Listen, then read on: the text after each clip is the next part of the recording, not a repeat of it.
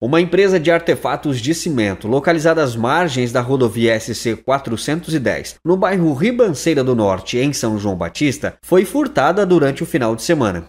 O crime só foi identificado na manhã de hoje, por volta das 7 horas da manhã. Ao chegarem no local para o início do expediente, colaboradores perceberam que um compressor havia sido roubado. Segundo informações repassadas para a polícia, no domingo, o proprietário da fábrica flagrou um veículo Fiat Uno de cor prata entrando no pátio e fugindo ao perceber a presença do dono. O local não possui câmeras de vídeo monitoramento, o que deve dificultar a localização dos autores. Rondas chegaram a ser realizadas, mas sem sucesso.